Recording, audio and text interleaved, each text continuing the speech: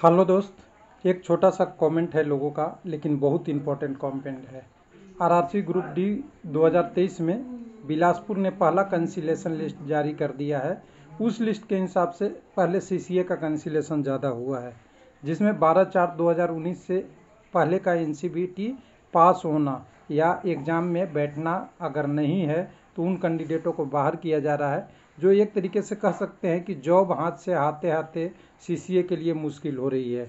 लेकिन जो कैंडिडेट थोड़े नंबर कम से सिलेक्शन नहीं हुए हैं, वो कैंडिडेट ये सोच रहे हैं कि मेरा अब कम से कम कुछ तो चांस मिल रही है तो इसमें किसको बेनिफिट मिलेगा?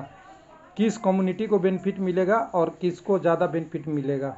तो सबसे पहले देखिए सीसीए का रिजर्वेशन आप समझेंगे तो देखिए हम कुछ नहीं बदल सकते, हम रिजर्वेशन और जो गवर्नमेंट की रूल है, उसके हिसाब से ही बात करेंगे।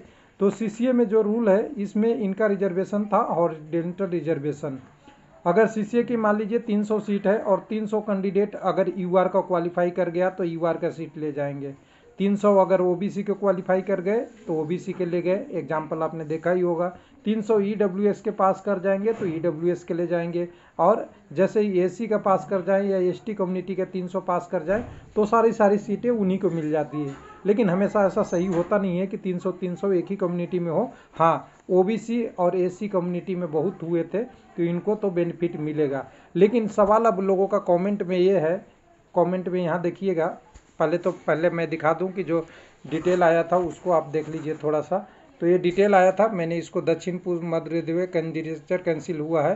तो एकदम क्लियर लिखा है, किसी से छुप के नहीं लिखा है। ये सीसीए कैंडिडेट को कैंडिडेचर कैंसिल किया जाता है, जो सीसीए का मापदंड पूरा नहीं कर रहे हैं, यानी एजुकेशनल क्वालिफिकेशन से। एक एक हमने कैंडिडेट भी काउंट कर लिया तो यहाँ पे सी का अड़तीस, चालीस कैंडिडेट दिखे, और यहाँ पे वैकेंसी में तीन सौ तैंतीस सीसीए का पोस्ट था और तीन सौ तैंतीस सी क्वालिफाई भी किए थे।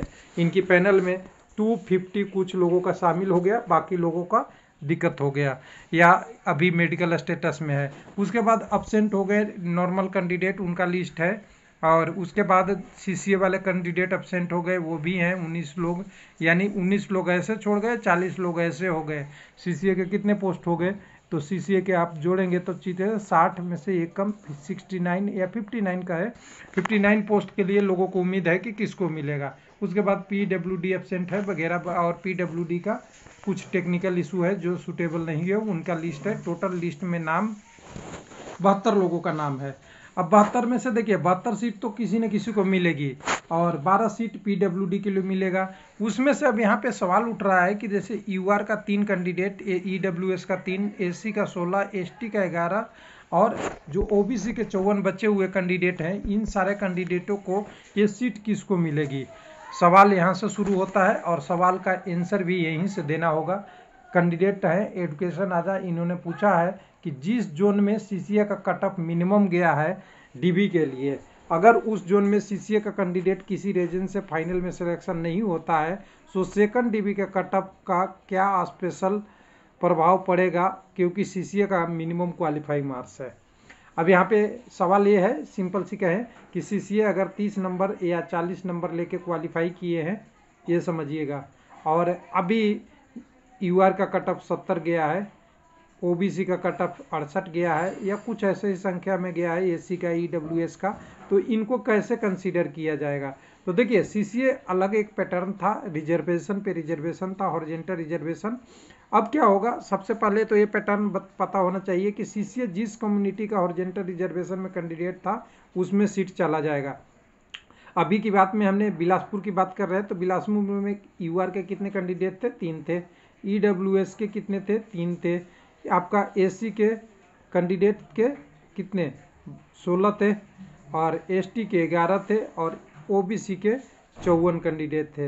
ये सारे पोस्ट रेस्पेक्टिव कम्युनिटी के चला जाएगा और रेस्पेक्टिव कम्युनिटी में जैसे मान लीजिए यूआर में थ्री कैंडिडेट को लेना है।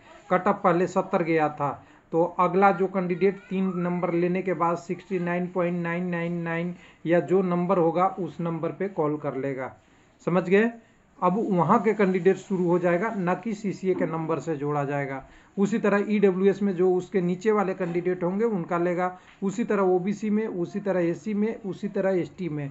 ये नहीं समझिए कि ये जो वैकेंसी है, सारा ओपन में चला जाएगा, क्योंकि ये कैंडिडेट का हॉर्जेंटल रिजर्वेशन था आपने कम्युनिटी में क्वालिफाई किया है तो कम्युनिटी में सीटें जाएगी। यानी सिंपल सी बात है कि सीसीए का जो सोलह आर का है, एक तो सी सी ए फिफ्टी परसेंट पास हुए थे, जितने सीट थी अब 50 परसेंट में भी करीब करीब पाँच से दस या पंद्रह परसेंट तक कैंडिडेट जो जो सीसीए का वैकेंसी है, उसके रिस्पेक्ट में बता रहा हूँ।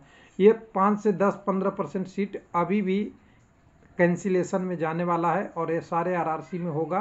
तो सबसे ज़्यादा बेनिफिट जो हमने पिछली वीडियो में बात कर ही चुके हैं ऑलरेडी आपने देख ही लिखा होगा कि सबसे ज़्यादा जो बेनिफिट होगा ओबीसी का और एससी का होगा, क्योंकि इन्हीं कैंडिडेटों ने मुंबई और कई सारे आरआरसी में ज़्यादा क्वालिफाई कर गए थे। थैंक यू धन्यवाद।